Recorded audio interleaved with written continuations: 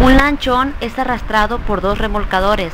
Si la resultante de las fuerzas ejercidas por los remolcador, remolcadores es una fuerza de 5.000 libras dirigida, dirigida a lo largo del eje del lanchón, determina la tensión en cada una de las cuerdas sabiendo que alfa es igual a 45 grados. Tenemos dos remolcadores aquí, A y C, que están arrastrando a un lanchón, el lanchón B. La resultante, es decir, la, la fuerza que sustituye a los dos remolcadores vale 5.000 libras. Dice que está dirigida a lo largo del eje del lanchón, ahí está, 5.000 libras. En este ejercicio no se nos pide la resultante, se nos pide la tensión, la magnitud en cada una de las cuerdas, perdón, de los remolcadores. Esta, vamos a utilizar la ley del paralelogramo.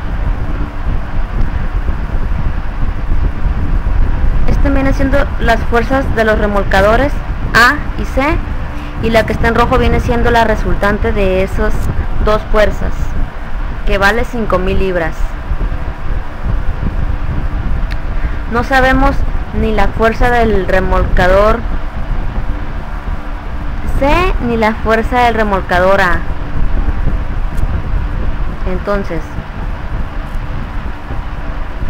el remolcador A forma un ángulo de 30 grados respecto al horizontal, es decir, respecto a la resultante de 5000 libras. Y dice ahí en el ejercicio que alfa vale 45 grados, sabiendo que alfa vale 45 grados, es decir, la eh, el remolcador C forma un ángulo de 45 grados respecto a la horizontal. Ahora vamos a hacerlo del video anterior. Ley del paralelogramo es cola punta.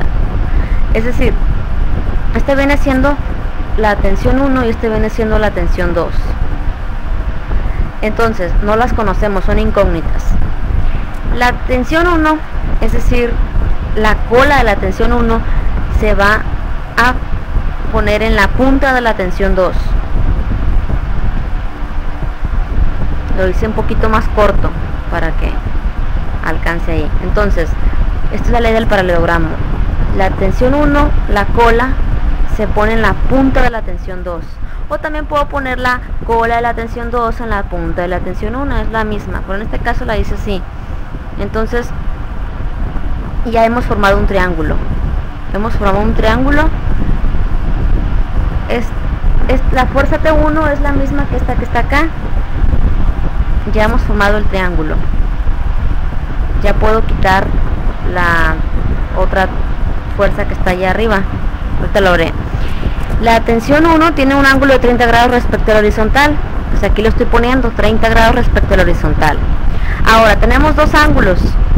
Recuerden que los triángulos, todos los triángulos tienen 180 grados. Entonces vamos a 180 le vamos a quitar 45 más 30 grados. Es decir, 180 menos 75 grados es igual a 105 grados. Es decir, este ángulo restante vale 105 grados. Y ya tenemos el triángulo con un lado y dos incógnitas. Aquí no podemos utilizar la ley de cosenos para encontrar las tensiones T1 y T2, no, porque en la ley de cosenos necesitamos dos lados y un ángulo. Y aquí nada más tenemos un lado y tenemos los tres ángulos. Voy a formar el triángulo. El lado más largo es la resultante que vale 5000 libras. Tengo la tensión 2, la tensión 1 y los tres ángulos 45 grados, 30 grados y 105 grados. Como dije que no se puede utilizar la ley de cosenos pero sí se puede utilizar la ley de senos porque tengo los ángulos. Y ya despejando ya puedo hallar tanto la tensión 1 como la tensión 2 entonces este vale 45 grados este vale 30 grados y el otro ángulo vale 105 grados. Entonces para hallar las tensiones recuerden ley, ley de senos. Por ejemplo para hallar la la tensión 1 es tensión 1 entre el lado opuesto es decir 45 seno de 45 grados es igual a 5000 entre el ángulo opuesto que es 105 grados, entre seno de 105 grados. Y ya haciendo un despeje ya vamos a hallar la incógnita T1. El seno de 45 pasa a multiplicarse, queda T1 es igual a seno de 45 que multiplica 5000 entre seno de 105.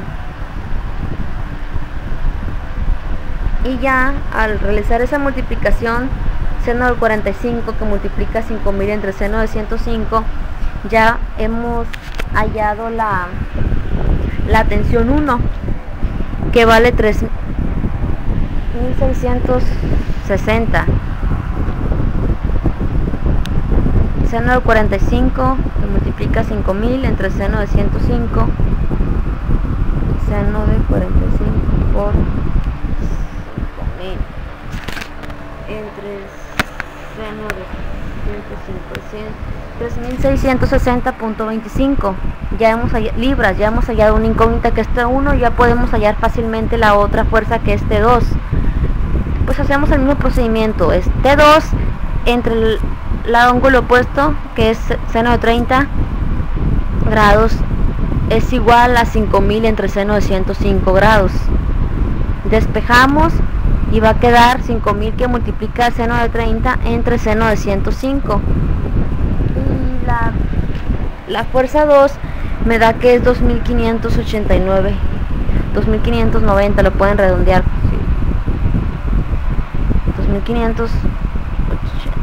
2588.19 y ya tenemos las dos tensiones T1 y T2 este ejercicio ha quedado resuelto